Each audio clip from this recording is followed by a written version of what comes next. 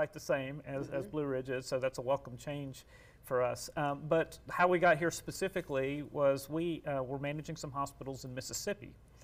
And uh, there were some hospitals that were in trouble on the other side of the Mississippi River in Arkansas. And as we started just looking at what were the potential synergies with the hospitals and the resources that we had in Mississippi, uh, the same owner owned the hospital in Blue Ridge and asked us if we were interested at, at, at looking here. And uh, my business partner, who's not here today, um, she was ecstatic. She's like, "This is finally a hospital and a place I want to go visit." so, so she was uh, very uh, probably instrumental in and con- continue that dialogue. But then we came here and visited, um, and this was um, several months ago, um, and you know got to know the community a little bit. But most importantly, walked into the hospital and got to know some of the people that work there, and that's always the key. I mean, the key is it's all about the people that are there, and uh, and you could tell that the core staff of people there really cared about the community. They'd been there for a really long time. They cared about the hospital, and they cared about taking care of their neighbors. And so we said, yeah, we can make this work. And so um, at the beginning of this month, uh, we acquired the hospital and we changed the name. Uh, along with that change, it went from a for-profit hospital to a not-for-profit hospital. So it really is about taking care of our neighbors in the community. And so we're excited to be here. Explain what a difference that will make for our viewers and for the people who choose to stay locally and use that hospital. Sure. So there's a lot of things. There are programs that the federal government has, and look, the way we get paid is all from insurance companies, mm-hmm, right? So whether it's mm-hmm. Medicare, whether it's Medicaid, and to a lesser extent Blue Cross Blue Shield and some of those other commercial mm-hmm, insurance. So the federal government has made a number of programs available to nonprofit hospitals that are not available to for-profit hospitals. So it means we can get paid a little bit more for doing what we're already doing because we're a nonprofit. So, you know, every cent counts. Uh, hospitals, I mean, I'm sure you've heard hospitals all over this country are closing, rural hospitals. There's Right. a crisis uh, right now. We really started our company for the sole purpose of working in rural communities with troubled facilities and trying to keep them open. And um, this hospital was losing money, quite a bit of money, and we had to put together a plan of how we were going to take it from where it was to where we're going, and uh, and to make it a viable long-term facility that not only can you keep open, but you can also reinvest. Right. I mean, medicine is a constant, you know, evolution of new technology, better technology. So you got to have training. You got to have the resources to buy new equipment. You got to keep up your uh, everything that's there. And if you can't constantly do that, if you're just making payroll, that's great. You're open, but you're slowly falling behind, and the quality of your service is diminishing over time. And so it's not, you know, to us, viability is a lot more than keeping the doors open. It's how do you reinvest into the facilities and the people that are there to make sure that you have state-of-the-art training, the best physicians, the best pro- providers uh, all across the board. And so uh, this is a beautiful community to recruit people to. Absolutely. And so uh, it's a little bit easier than some of the places um, that uh, we've operated in the past. That doesn't mean it's without challenges. Obviously, the previous operators, who are very fine operators of hospitals, were having uh, financial troubles, and so we're going to have to overcome those and uh, and turn this place around. Let me ask you something. When when I think about, I'm a realtor. Two questions. The people first thing they ask me, if they're older, how close is it to the hospital? If they're younger, how close is it to a good school? So those are the two key Okay. questions for everybody coming here. If that hospital, if you had not rescued it and closed, it would have been tragedy It- for our community. That would have been tragic. Yes. Yeah. Mm-hmm. Well, we've unfortunately seen communities where hospitals mm-hmm. have closed, mm-hmm. and it is it's it's it's sad. Um, Yeah. I mean, first of all, medical care starts leaving over time. You know, the physicians start leaving because they don't have a place to practice medicine. Uh, you know, your pharmacies dry up. Everything starts moving away. It's hard to recruit. It's hard to figure out what to do with that old building. I mean, all, these buildings are special use buildings. You can't just convert it into a shopping mall. I mean, No. Mm-hmm. it, you know, it's an eyesore. Uh, oftentimes, they've got asbestos in them when they were built. You can't even tear them down without costing millions of dollars. Mm-hmm. So it's, it's a conundrum. It's a real problem when you have a hospital that closes, not only from the physical part, but just what it does to the community, the ability to recruit businesses, and and just the real human cost of if someone has a stroke or a heart attack. Mm-hmm. Now I've got to drive 35 minutes to get them to the closest care, as Sure. opposed to being, uh, you know, right down the road. Yeah, that's Yeah. that's amazing. Now, have you been here long enough to eat at the cafeteria? because the cafeteria was famous for lunch. Everybody loved to go there and eat. Yes, we've, we've been there, and we're uh, so the first couple times we got a chance to eat at the cafeteria, and we're we're very pleased. We have some plans Yes. as to what we're going to do, but uh, you know the the people at that facility really care, and they make and that's how it mm-hmm. shows, mm-hmm. right? Um, one of the things I say about healthcare, it's really hard for someone like me who is not a doctor to mm-hmm. judge the quality of healthcare. Right? You know if the staff is friendly. You know if you like the food. You know if the place is clean. You have no idea if the diagnosis is correct. You have no idea if they administered the right medication in the right quantities at the right time. It, so it's really difficult to judge the quality of healthcare um, for, and I said, for the average non-medical person. So uh, it's a combination of having to do those little things like make sure the place is, you know, very clean. Of course, for medicine, you need to make sure it's clean anyway. But make you know, make sure the food is good, the rooms are clean, that people are friendly, that people make contact with you, that they will take care of you, that they care. Uh, you know, you don't uh, make eye contact with people, help them uh, around, and those types of things that just what makes a, a rural hospital and a hometown hospital so different than going to the big city where you're just following a blue line or a green line Exactly. someplace Mhm. uh, Yes. and you know to an elevator someplace else. So uh, it's it's a mindset. It's very different to to work in a smaller town. Uh, it's a lot more personal. Uh, you know, one of the things you know is when you're taking care of someone, you may see this person at the ball game, or you're going to see him at church, or you're going to see him at a school activity or something. Mm-hmm. And it's, it's very different than where I live in Nashville right now, where if I go see a physician there, I don't think they look at me. I think they just type into their, their computer the entire time. And if I walked out in the hallway, I'm not sure they'd mm-hmm. recognize me. Mm-hmm. And like I said, it's a completely different mentality when you come to a smaller town. You just described Yes. a visit I just made to a doctor in the city. And honestly, I guarantee you, if he walked in here today, he wouldn't even remember seeing my No. knee or me. And I was so disappointed. Mm-hmm. But he does sports medicine, and I'm an old lady. Old ladies don't need sports medicine. I needed my knee fixed, you know? And that's exactly how I felt. And I was like, get me back to the country. Get me back to the country. So, Well, yeah. Most of those physicians, either there's one of two things going on. It's, and, and I'm not going to blame them. I mean, the federal government has made it harder to be a physician. Sure, They've sure. added the amount of mm-hmm. paperwork you have to do, and they've cut the amount you're getting paid. so just to make your numbers work, either you're employed by a hospital, and we employ a mm-hmm. lot of providers here, mm-hmm. uh, or you're independent. Now, if you're employed by a provider, your boss is telling you you got to see 35 patients a day. I mean, this is the way we're going to make this clinic work, and if you know you're independent, you need to see them just to keep the doors open. Mm-hmm. So it, it's really more about the numbers and getting through than it is about how am I taking care. I'm not saying you're getting poor care. Mm-hmm. You don't get personal care. Right. Exactly. that compassionate mm-hmm. care Yeah, that yeah. that people find in a smaller hospital Right. because uh, you know talking with patients i had a lady that when i was talking to her she was being discharged she was thanking you know the hospital and the doctors were saving her life and her husband had had where he had to be transferred to a higher level of care Mm-hmm. and she she was telling me how great the nurses were, the doctors, how how wonderful her experience had been versus what she had gone through at the larger hospital. And she got she said, "Look, I'm getting emotional, teary eyed." And I said, "Well, as long as it is good tears, we'll we'll take those." Yeah, And she yeah. was just you know so appreciative Yeah. of the care that she had received and the at fact our that she hospital. didn't have to leave home Exactly. go, you know, mm-hmm. because who wants to go? When, Right. when this was happening, I was driving to Kennestone three mm-hmm. times a week, mm-hmm.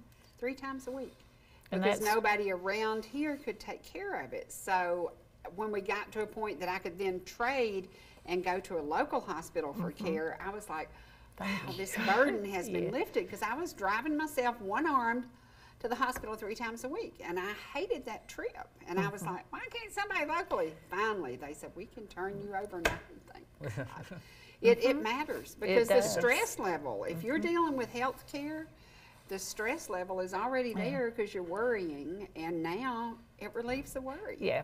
And you know, the people at the hospital, they they're very helpful, Mm-hmm, compassionate, and they mm-hmm. want to help you. They don't. And they get to know you on every mm-hmm. visit, you know. And I got tickled when I was going. I took them lunch my last visit, and they were like, "You, can't, I can't believe you did this for us." And I uh-huh. walked in with a full blown meal for the whole mm-hmm. staff, and they're like.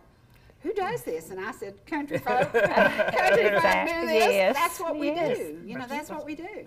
And that's what we've always said. It's, it's about neighbors taking care of neighbors. That's really what mm-hmm. these local hospitals are doing. I mean, anything that we do, we're going to do as well as anybody else in the mm-hmm. country. Because there's a lot of stuff that we can do very, very well. I mean, mm-hmm. especially when you start thinking about things like diagnostics. I mean, it's the same equipment. It's probably going to be read by the same radiologist. Why do you need to drive two hours to go get an MRI when you can get one here? Right. So it's this, you know, it's you can do that. now we're not going to do everything because there's just a limit to what you're going mm-hmm, to mm-hmm. need to do, and if there's some things that are going to be just too acute, you know, too mm-hmm. some people are just too sick for us to take care of here. I'm trying to think, I had my mammograms at Fannin, I Uh-huh. had my bone density at Fannin. Yes. And that, and I had an MRI. Y'all Correct. brought in that Yes. MRI, so mm-hmm. I had Yep. all those major things done at mm-hmm. Fannin. Exactly. And it's because it was available, and I didn't have, have to drive to, the drive, city. yeah, the stress of the drive Yeah. to the to the uh, Yeah, bigger yeah. hospital. Well, what also happens is you, you just don't do it. I just won't get the Yes. mammogram because I don't want to spend mm-hmm. four hours going back and forth to somebody. And then, you know, that's the beginning of the problem if you're not mm-hmm. getting the preventative care, which again, what we can do here is a lot of preventative care. Mm-hmm. Yes. Right? And if we can keep people healthier here, that's mm-hmm. better for us as a hospital, it's better for us as a community, it's certainly better for the patient population, and it avoids, you know, the more acute cases where you have to leave to get care elsewhere. So, And I can tell you, everybody I know who's gone to Blue Ridge for cancer care has been so thrilled to go Mm-hmm. in that direction. See the lake, see the mountains, have lunch at a local restaurant, not have the stress of the The- city because it really does Yes. add to the stress. It, definitely. Yeah, Mm-hmm. definitely.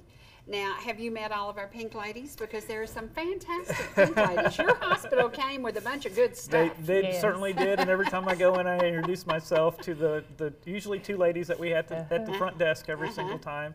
And some of them have been here 20, 30, 40 Yes. years. Yes, yes. And uh, appreciate all of their efforts uh, and their dedication to our, Mm-hmm. uh, to our hospital and, and this town. And did your wife tell you you could bring money and shop in that shop? Because you need, you need to support their gift shop. Yes. Because that gift shop makes money that comes back into the hospital. Well, I will set her loose then. Yes, do it, do it, do it, do it. Definitely. Yeah. Now, Susan, how are y'all adapting? How are the employees feeling about the new? Uh, we feel very hopeful Mm-hmm. and looking forward to what is going to be happening Mm-hmm. on down the road. And I don't think it's going to be long that we see some very positive changes at Mm-hmm. the hospital because we, you know, we love the hospital uh, and we want it to be there. And Mm-hmm. so we're just very, very hopeful. It's, it's so important that we Mm-hmm. keep that going because when you think about if they left Blue Ridge, the closest hospital is 55 minutes Yeah, away. uh-huh. That's a big trip if It you're having that stroke that you have 20 minutes to get help. That's, Mm-hmm. Yeah. that's really tough. And sometimes you have less time Mm-hmm. than that. My cousin is a prime example. He had an Mm-hmm. aortic artery and so he, Mm-hmm. he came into uh, the ER. They got him diagnosed quickly, Mm-hmm. and he was on his way uh, for surgery. And the team was waiting when he got Mm-hmm. there. But if it had been just a few minutes longer, he would not have made it. Yeah, yeah, so So it- important.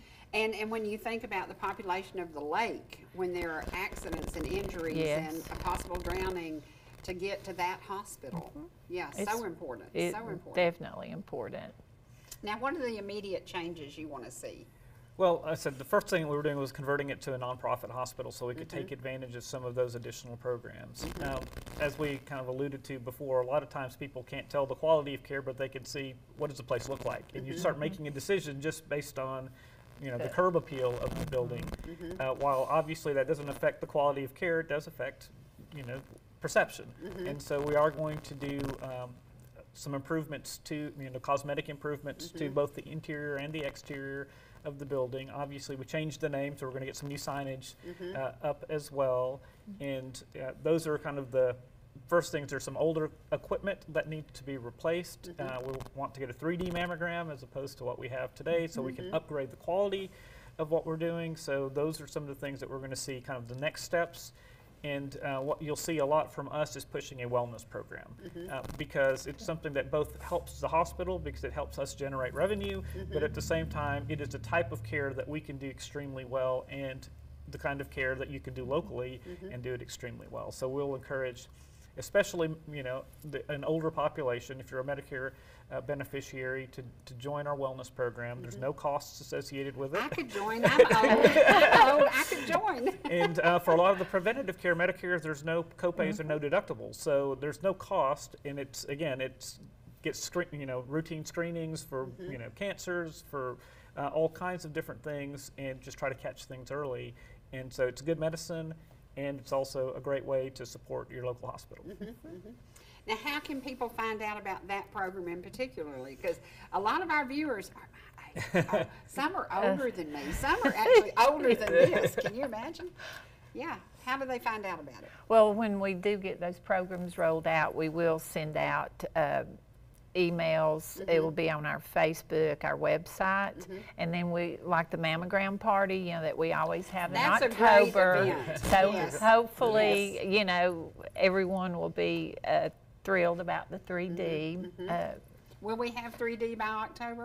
We're hoping to. I'm not- Okay. I'm not convinced we will Okay, quite, just 'cause because the installation of, a, of the mammogram itself takes a little bit of time, but uh, we'll probably have it Mm-hmm. We're ordered by giving then. you 90 days. what more do you want? but it will be, you know, publicized Mm-hmm. in all the uh, newspaper, Right. all the, and I think preventive medicine to me is the way to go. And I walked into a doctor and he said, Oh, your A1C is too high. And I said, Okay, what do you want me to do? And he said, I'll give you this prescription. I said, No, you won't. I'll go home and take care of it. So I went home and took care of it by changing my eating habits and walking more.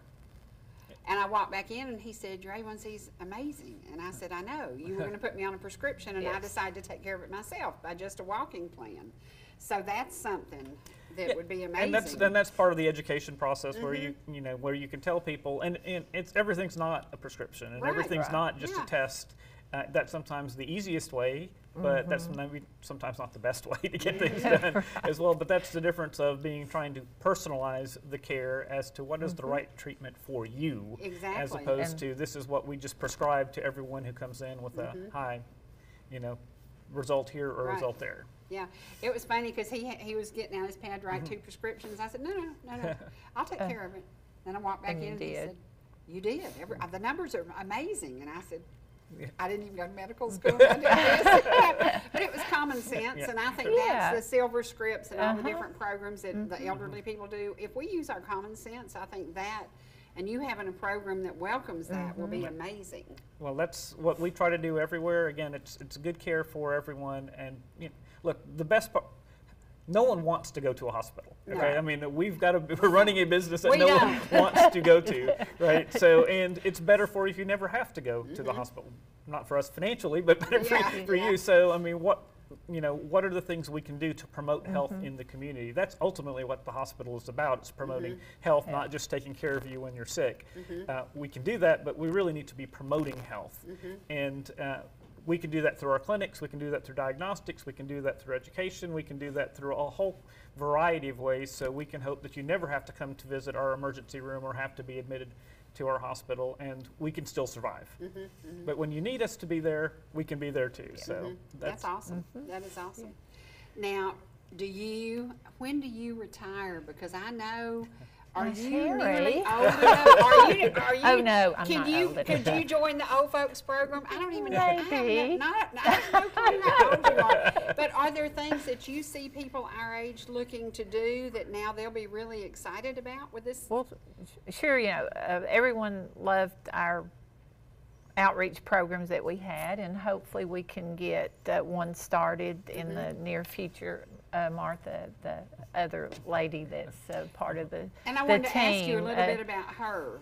She's yeah. fantastic. Uh, Yeah, so um, so we've been working together since um, 2010. Mm-hmm. Close. Well, I guess 2009. We've been working pretty closely together, Mm-hmm. um, and she was she started out on the on actually on the the clinical side, and she was a, a, a surgery tech. And then at a certain point in her career, turned over to the business side, got into the marketing, and then ultimately operations. I, I- like I said, I got to know her back really in 2009 when she did move to the administrative side of the house because I really don't do a whole lot on the clinical side. And this was a hospital in Manchester, Tennessee. It was ironically the first hospital that we ever bought, um, and we still run that hospital to this to this day. And um, Martha kind of progressed up and became our chief operating officer, and then um, promoted her to the CEO of the hospital. And then uh, we collectively put together a plan. There was another hospital three miles away. Uh, we bought that hospital and then merged those two facilities together to make a much more healthy facility. And um, we've kind of just done that and really learned how to operate in the rural environment again. We had a completely different business model before the Affordable Care Act. I won't go into all that, but the Affordable Care Act really changed uh, how rural hospitals could operate because we could no longer have any physician ownership. Mm-hmm. When the physicians owned it, they'd tell you what you were doing wrong. they would tell you what the new technologies were. They would, you know, they would watch for waste and all, all those types of things. Well, we can't do that anymore. So we had to kind of mm-hmm. relearn. And so Martha and I did that together, mm-hmm. and I was more on the financial, you know, business side of it, and she was certainly very strongly on the operational side. We've got a great relationship. We're business partners um, today. I trust her implicitly on anything that comes up on operations uh, to handle. You know, I have a lot more interaction with the hospital before we buy it, when we buy it, and then you know more on the watching the financial aspects of things, and you know dealing with our banks and, in- investors, and we don't, uh, you know, all those types of things where the you know I, I know what's happening, but I, I, I try not to mess up what Interfere with Martha's yeah, with, with what, what she's Yes. doing. So um, Yeah, Mar- yeah. So unfortunately, she's not here today because she's at our hospital in Manchester. Yeah, but um, hopefully, Well, I can tell Martha, I've been to Manchester, Tennessee multiple times. This is a prettier neighborhood. yes, It's a much it- prettier yes, neighborhood. She's gonna she, really like it yeah, here. Yeah. she knows that. Yeah. Yeah, I mean, she's she does. she was, she she was excited. Yeah. Um, and I mean, but if you are actually are driving up to Nashville for any reason, if you get between exit 111 and 110, and you can, that's where our hospital is. Um, you can take a look at it. Please do if you have a chance. Uh, that's what we're hoping that in time that uh, that Blue Ridge is going to look like. We spent about seven million dollars in renovations at that hospital over the last three years. Uh, both interior, exterior, new equipment, new clinics, bringing in new physicians, uh, expanding our mental health programs, uh, and so forth. And uh, that's wh- what I'd say kind of a mature success story looks like. And uh, you know, again, would welcome you to come by anytime, or if any any one of your you know listeners, followers want to come by, at least you can see what we're aiming for. And one of the other states that you chose to work in is Mississippi, which is a very, very poor, very poor state. Mississippi and Alabama are two places that we work that are very difficult environments to work in. Um, both of them are, uh, a lot of people don't have money, and so you're taking care of a lot of patients uh, that can't afford to pay you, and that's just part of what you do. Uh, you have a lot of Medicaid. And then in Alabama specifically, you have Blue Cross Blue Shield, which is, just dominates the market, so you don't have any leverage to even negotiate contracts with them. Right. So it's really difficult to operate uh, in that market. Uh, we're fortunate that we uh, have a hospital there now that is doing quite well. Uh, we bought it out of bankruptcy and uh, and turned it around, and um, And save jobs. and and in, in- in fact, yes, increase jobs because now we've added additional services. We've added wound care. We've added uh, some infusion clinics and some other things uh, to Wound care is amazing. Wound care is a necessity. That's where, I mean, seriously, they saved my Where life. you- Wound care is where it saves your life, yeah. So, um, and that's something that we like to do everywhere because again, it's something that you can do locally and you can do it just as well as going to again going to the big city to have some of those services. Um, and said Mississippi, same you have a lot of the same issues. You don't have the same issue as Blue Cross Blue Shield, but you do have a lot of um, a lot of poverty, and especially in rural Mississippi. And the population's just not that high in Mississippi to start with. So I mean, it's pretty spread out, pretty diverse. So uh, those are difficult places uh, to work, but we've made it work. Uh, made it What work there. towns are you in in Mississippi? So, um, well, we just recently got out of Mississippi, but we were in uh, Batesville and Marks, Mississippi, and ran some clinics in Tupelo, et cetera. What we were trying to do, honestly, was kind of get rid of some of our other responsibilities so we could focus on, on, on Blue Ridge. Good. And you can understand why we are uh, excited and looking forward to, Absolutely. to changes Yeah. that's going to happen. Well, I couldn't even imagine if the doors had been shut No. there because being that vibrant lake community with Mm-hmm. people with millions of dollars invested in lake property and lake homes, and then saying, "My son had an accident on a Mm-hmm. jet ski, and we have to, to go into Atlanta." Are you kidding me? Mm-hmm. Yeah, that would have been tough. Yeah, well, and it is. I mean, it, that's part of the things that we had studied before. There was a hospital that was going to close in Alabama that we managed. Uh, they announced it was going to close, and uh, in five weeks, and we managed to keep that hospital open. And and it was 49 years old, and so next year we had a 50th anniversary of the hospital being open, and so we asked our uh, emergency medical staff, our, our ER doctors, to go back and look through the ER logs and say how many people would not have made it Wow. know, Wow. And that's a 35 Yes. minute drive to the next closest hospital. So, like, how many people would not have made it? Mm-hmm. Uh, not saying they would have had a worse outcome because there certainly people have a worse outcome Mm-hmm. uh, if they don't get care, but just like literally would have died if the hospital had closed. And this was a small town of about 5,000 people, and you know, it turned out to be one a month Mm-hmm. of, of someone who would not have made it to the next. And the surprising thing was one third of them were children because they had an allergic reaction that they couldn't have made it or an asthma attack or something like that that was uncontrolled. So it was that was the part I really didn't expect. Uh, but then it was when you really realize what kind of impact uh, these hospitals do have. And it may not sound like a lot, but to a small town, if you're It losing is. extra, Yeah. you know, Yeah. people are dying. Yeah. You know, it's a Well, tragedy. 12 a year times 50. Yeah. You know, duh. Yeah. Crazy. So, so, um, so you know that gives us a great deal of motivation when you wake up in the morning, knowing that mm-hmm. what you're doing is making a difference, and all the efforts that you're trying to put in to, mm-hmm. to keep these places going, uh, has a real human mm-hmm. component to it, not just the job, but, you know, which is also an important part of it. Um, but it's you know when you you can go to bed at night knowing that you did good today. Yes. I have to know, how did you go from Connecticut to Nashville? now that's a trip. So I was born in, I was born in Connecticut when my, my dad was a surgeon and he was doing his residency um, in conjunction with Yale. And uh, he had a friend of his who went to uh, medical school with him who was doing his residency at the University of Arkansas in Little Rock. And he got done a year earlier. And so he found this small town, McMinnville, Tennessee. Um, No. that, and um, he moved there before. And he called my dad and said, "Hey, there's only one surgeon here. He's 70 years old. You know, why don't you come down here? We can share office space." Because I don't think when you're in Hartford, Connecticut, you can find McMinnville on a map. I don't no, think no, they have no. maps that show that. Yeah. Uh, but that's how we ended up. So when I was about four years old, we moved to a small town in McMinnville, Tennessee. I guess where I grew up. Uh, and for the longest time, like my dad was the only surgeon there. So Wow. you know, four o'clock in the morning, there's a car wreck, you know, phone rings and off he goes.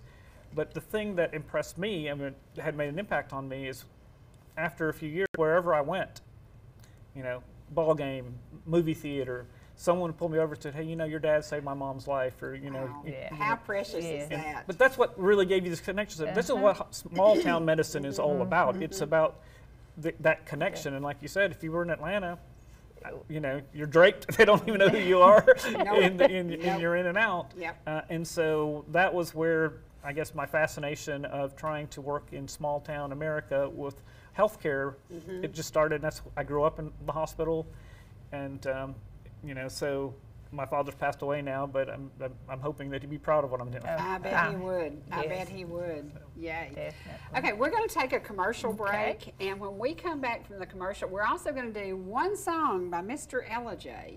And I know that y'all love Mr. Ellijay, and I know you're excited for him to come back with the new stuff he's doing. He's going to be doing new stuff. he's recording. He's getting stuff done, and I think it's time he does a song about Blue Ridge. He's done one about Ellijay. He's done one about all these mountain roads. It's time that he comes to Blue mm-hmm. Ridge and does a song about Blue Ridge. So we're going to try to convince him to do that. But right now, we're going to take a commercial break, and we are going to share a little bit of music, and then we'll be back.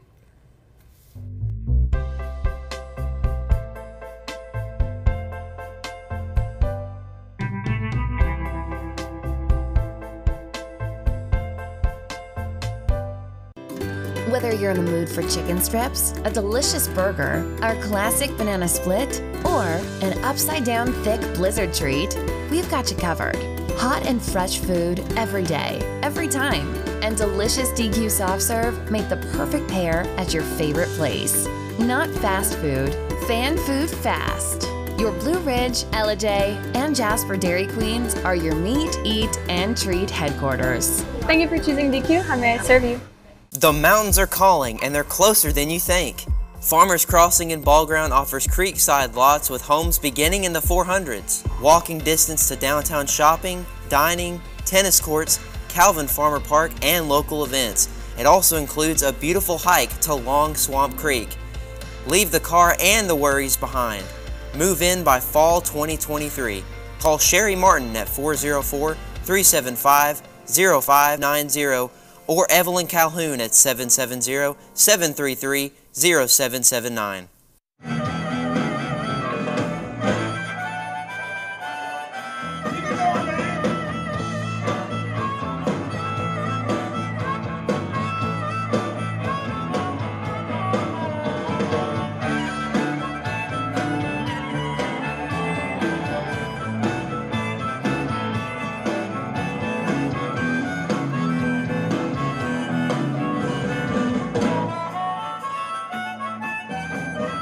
Georgia Medical Treatment Center now has two locations to bring you the high quality holistic care you've come to know and expect. We treat neck, back, and joint pain with chiropractic care and injection based treatment without the need for surgery or prescription painkillers. Our medical weight loss program can also provide relief while ridding your body of toxins, pounds, and inches while improving your overall health. Call today for a free consultation, 770 345 2000, or go online to georgiamtc.com.